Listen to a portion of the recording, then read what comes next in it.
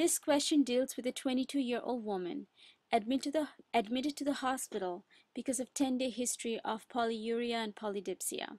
She says that the urge to urinate often awakens her at night. She has been taking lithium carbonate for two years for bipolar disorder. Her dosage was increased six months ago because of recurrent severe manic episodes. Her vital signs are within normal limits. Physical exam shows no abnormalities. Over the next 24 hours, urine excretion totaled 6.5 liter. Lab studies at this time show a serum sodium concentration of 148 milliequals per liter, serum osmolarity of 315, and urine osmolarity of 75. Administration of desmopressin. After administration of desmopressin, Urine output and osmolarity do not change. Which of the following findings in the nephron best describes the urine tubular osmolarity compared with serum osmolarity in this patient? So first of all, what is happening here? This patient is taking lithium. So, uh, and six months ago, the lithium dose was um, increased, and now she's having polyuria and polydipsia. What are the toxicities of lithium? The mnemonic is LMNOP. M is for movement. N is nephrogenic diabetes insipidus, which this patient is having.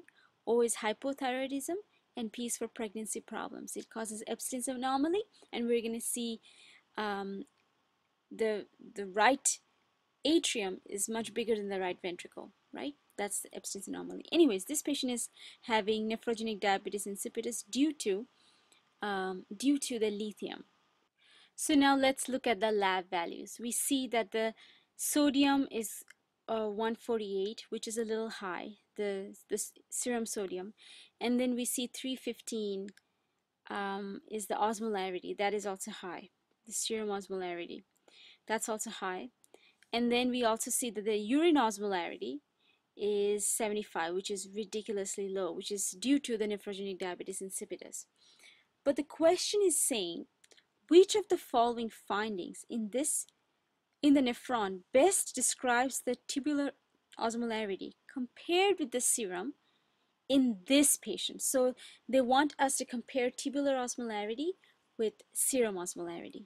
So first let's look at how it will be in a normal patient and then we're going to look at the pathology. So this is a picture of a normal nephron where we can see that, let's start from the beginning, we can see that outside we have 300 and inside we have 300. So here at the very top we have um, we have the same osmolarity. So this is going to be isotonic. Okay, so if we draw it here, we start drawing it here at the very beginning, inside and outside is going to be isotonic. Okay, so iso.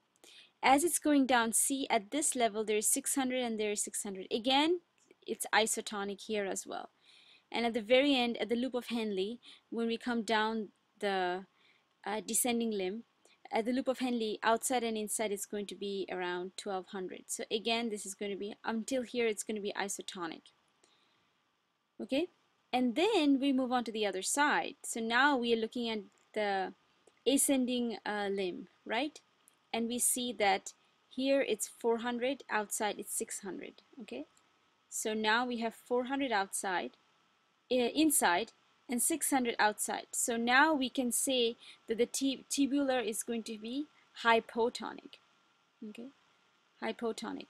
And as we even go up we can see that this is about 100 and this would probably be around 300 so it's even more hypotonic. So at the at the DCT 100 and 300 is still hypo okay? As we move down here through the collecting duct now the collecting duct varies from 100 to 1200 so it will vary uh, from person to person or from urine sample to urine sample depending on what what food the patient ate, what drink the patient drank. So that is going to differ. So we can see that iso, iso, hypo, hypo. This is what it is in normal patient.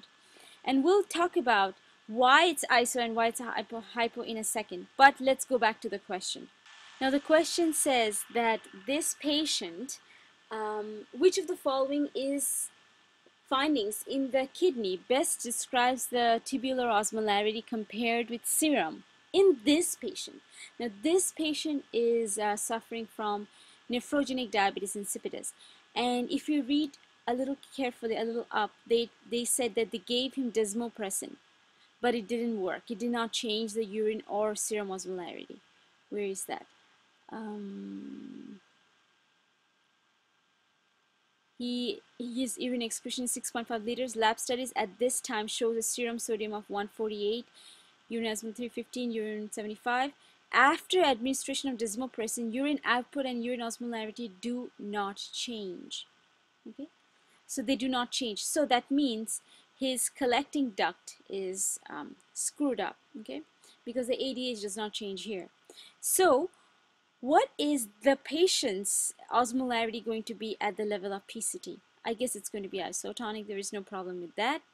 What is going to be the effect at juxtaglomerular apparatus? Now, where exactly is our juxtaglomerular apparatus?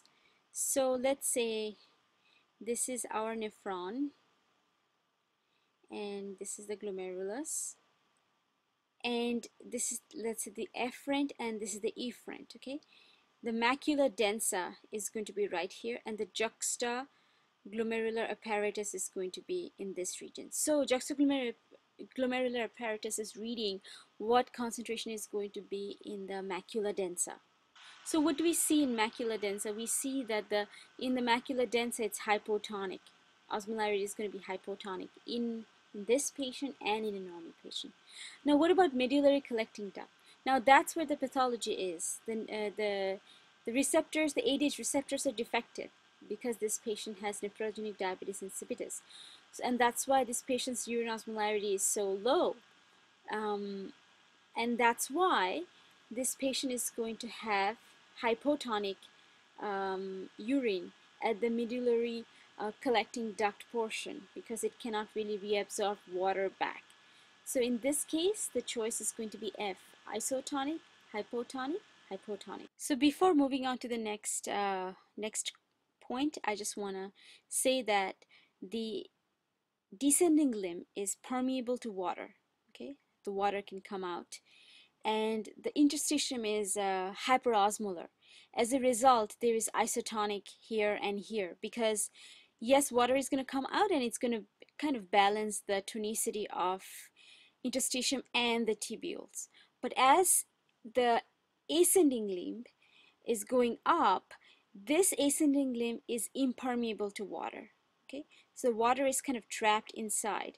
As a result, making the this segment of the nephron uh, hypotonic because water can come out, but electrolytes can right? Electrolytes can come out, but water cannot come out, making this segment hypotonic.